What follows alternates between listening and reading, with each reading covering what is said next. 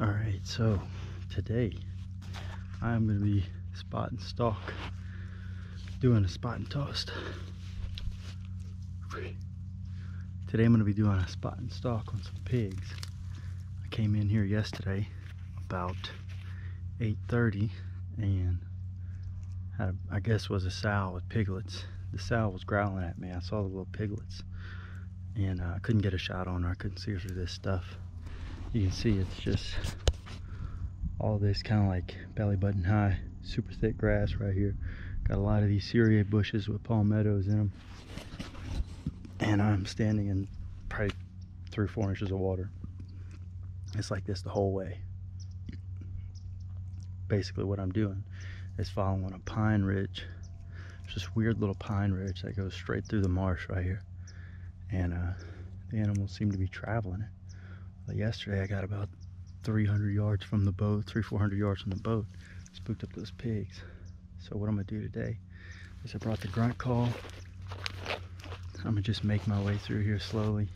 Maybe hit the grunt call a little bit for the pigs and for the deer, you know, just kind of make it sound like I'm just another animal walking through the woods. And man, I keep hearing stuff, but it's just me. Um, I'm gonna be wearing the GoPro on my head like one of those YouTube fishermen. But I don't there's no way for me to carry the good camera out here and do this. So anyway, Louisiana public land in the marsh. Let's try to kill us a pig. If a big buck walks by. Shoot if a doe walks by, she might get it. We'll see. You see they kind of tore all this up.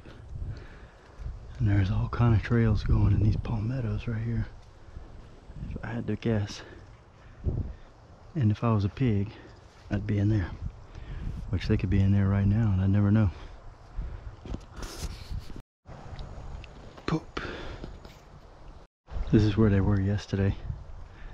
trying to stay on the downwind side of it so I can smell them. If they're in there. Deer.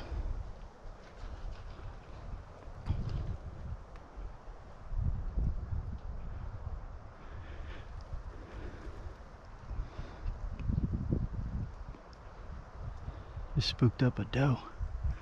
Looked like a doe at least.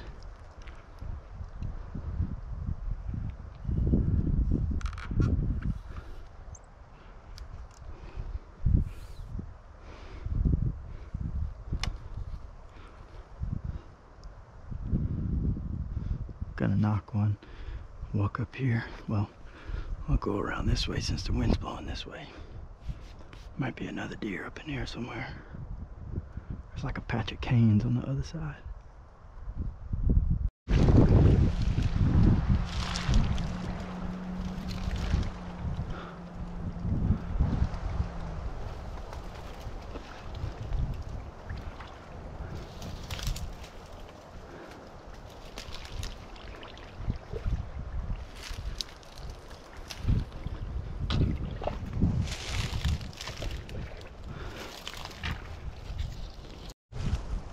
Looks like she was either bedded up right here or back here. I'd say back here.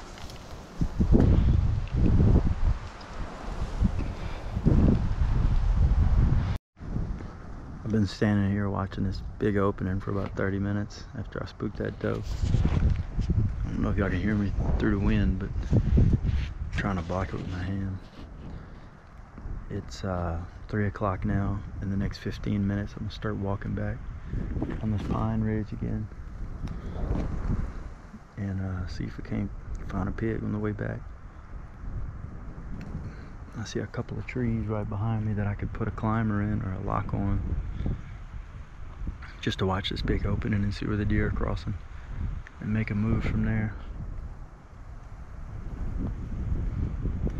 Tonight was another one of those kind of like scouting slash hunting, you know, walking with the bow kind of scouting nights.